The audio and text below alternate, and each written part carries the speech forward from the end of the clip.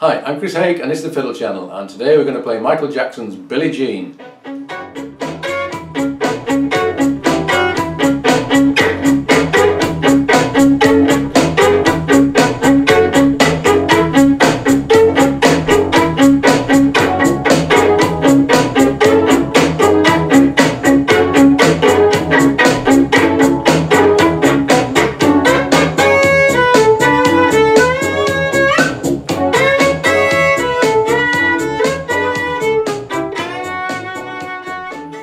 This was a request from Gabriella and uh, she wanted to play this on her looper and I think really was mainly interested in the opening lick uh, which is a really good one.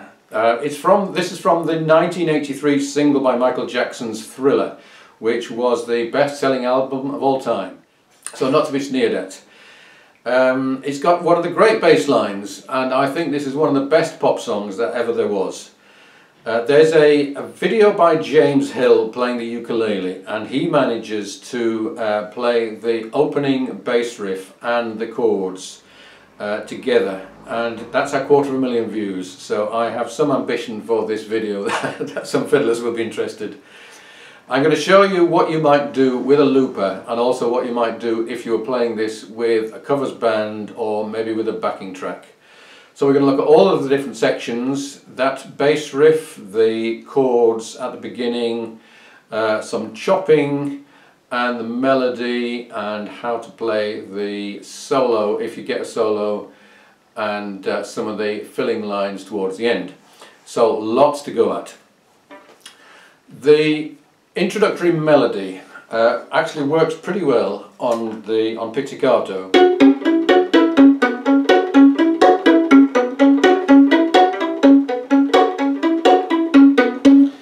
Works well like that because it's a very percussive kind of sound and the um, pizzicato helps to do that pretty well. But I don't think you'd want to do that for very far. Incidentally, we're in the key of F sharp minor, which is the original key. Doing the same thing with bowing.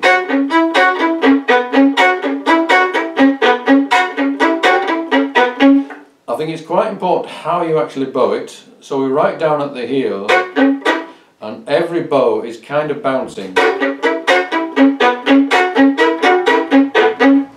I can't really describe exactly what I'm doing, but every bow is coming off. And you're giving it quite a lot of grit, so we got quite maybe quarter of an inch of, uh, of digging into the bow. So on the original we have two bars of drums before that and if you were uh, doing a looper then I think you would want to start with some chopping. So the um, the, the, the rhythm on the drums is a straight offbeat. Let me just play that along with the just the drums at the beginning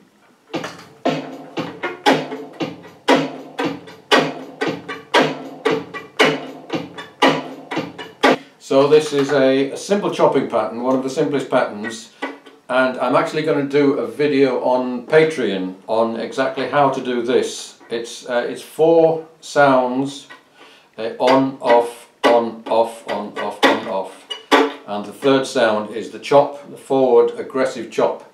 The rest of it is just kind of place keeping. So as I say, if you're doing a looper, then that's, I think, the first thing you should put down. Uh, one online version that I saw of this with the fiddle has has the triplets uh, as the chop. One, two, three, one, two, three, one, two, one, two, three, one, two, three, one, two. I don't think that works as well myself, but that's another alternative. So, ha uh, having done the chop, then you would do the bass line. Then we have the chords and uh, there's a couple of ways of playing those chords. The simple way and the way that I recommend is so we've got F sharp over A, G sharp over B, that's third finger over second finger, and then fourth finger A over C sharp.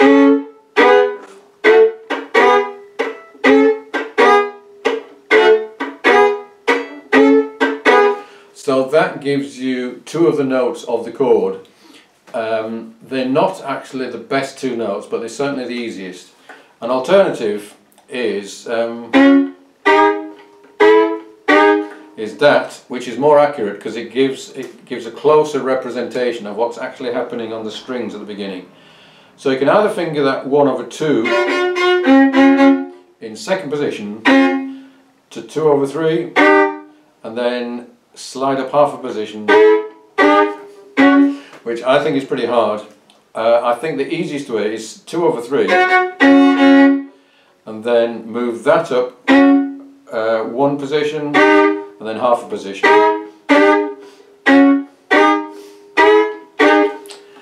That gives you the, the note on the top is the most important note of that chord. Let's just hear the intro and the riff and that bit together.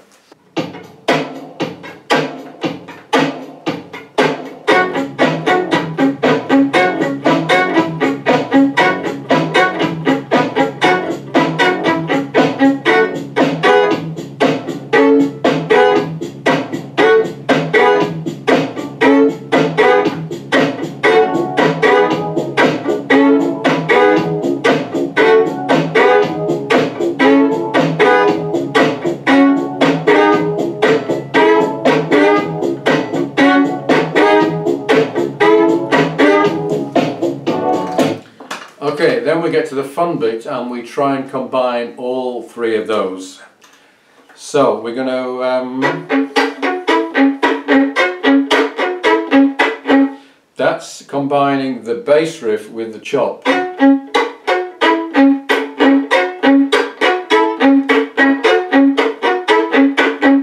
And obviously doing that we're actually losing a couple of the notes of the bass riff but your, your brain kind of fills them in and you imagine that you're hearing them.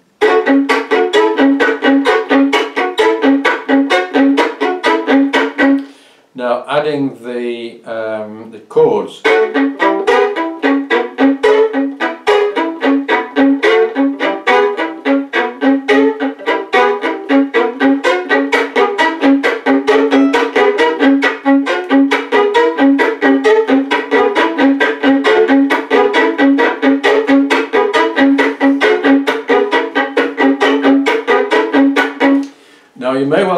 that that's as far as you want to go, and pretty reasonably. I gave a lesson to Gabriella on this and I think she decided at that point that she would come back to me possibly after several months of practicing. um, it may be that you will master this within a matter of minutes, but I suspect this may take quite a while, especially if you're not used to chopping. Um, but if you want to proceed and do the whole thing as a cover, then the next thing you have to decide is what to do on the when it changes to B minor when we have the the whole riff is moved up.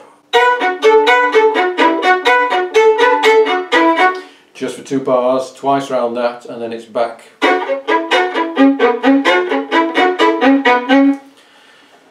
Uh, so uh, if you're playing the riff over the over the whole sequence, then and that would be if you were playing with a band, let's say, then uh, that's what you would do. Um, follow mostly the bass line, moving up and down again. Uh, if you're doing this as a solo and you're going to do the melody yourself, then you don't want to do the riff after the intro very much at all. And you want to go first of all into the whole melody of the verse and chorus and that's what we're going to do next.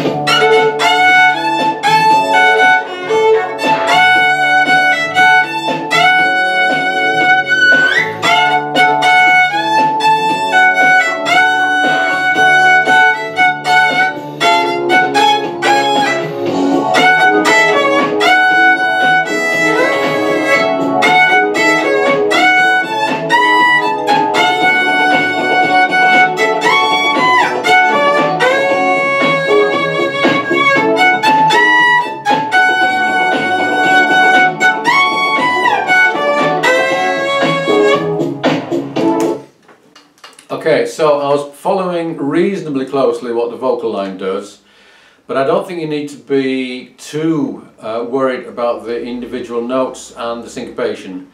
So you can make of it pretty well what you want, but don't get lost because it's uh, it's quite easy to miss some of the little tags here and there. Um, so that's how I would approach that. You do have some little gaps and um, I think it'd be good not to try and do the bass line in those gaps but to do a little bit of improvisation and we're going to do a solo in a minute and the solo works very well all the way through on the F sharp minor blues scale. So what I'm going to do now is to play the melody again but this time in all of those gaps I'm just going to fill them with little bits of improvisation on that scale.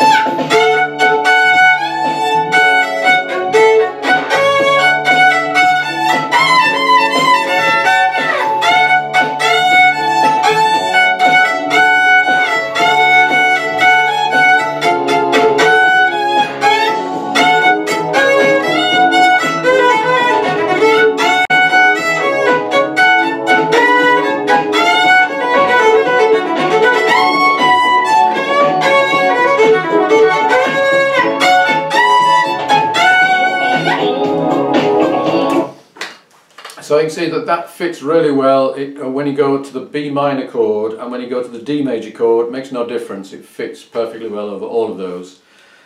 And uh, I'll show you a solo now where I do the same thing but without the melody and uh, you don't really have to worry very much about where the melody is going uh, except when you get to the end when you if you have to get back into it then you're going to be in a real panic. But uh, yeah, let me show you that solo.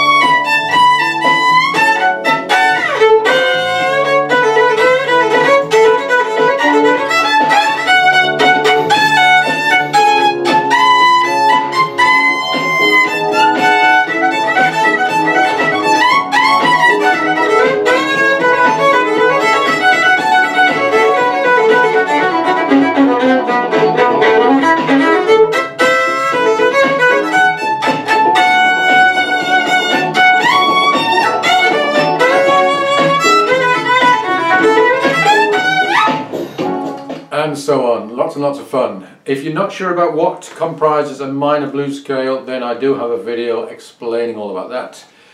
Uh, finally, let's have a look at the final time round the verse. We have some interesting little licks, uh, guitar licks. There's this one.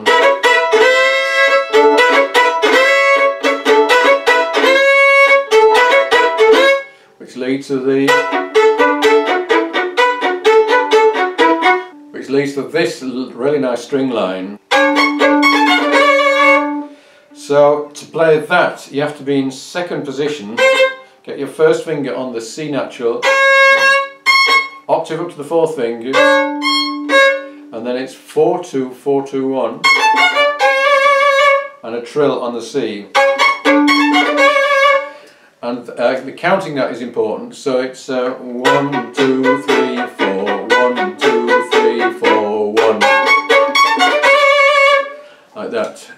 uh, one uh, um, half a beat before you come in with that lick.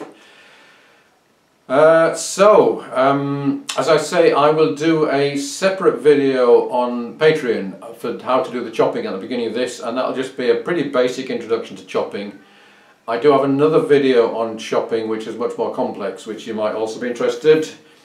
I will send a PDF of all of these dots to anyone who subscribes and would like them and gets in touch with email. And um, I'll play you out with um, uh, various bits through the tune. Thank you for watching. I hope I'll see you again soon.